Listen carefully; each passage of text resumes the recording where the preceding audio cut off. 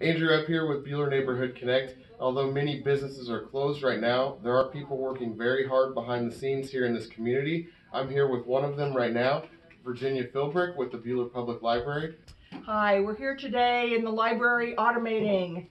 Uh, what we have to do is put barcodes and on every book, every movie, you will have access to the whole library from your home. But you'll be able to see what we have in the library. You can put hold on books.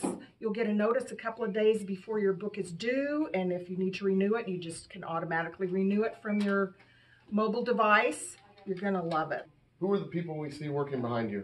Members of the library board that are here putting codes on books. And we have some people scanning over here. When do you expect to reopen? We're following the CDC guidelines, so when they say it's safe, then that's what we'll do.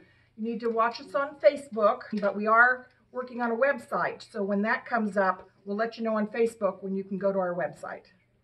Okay, thank you very much. Keep up the hard work, and we hope to see all you guys here soon.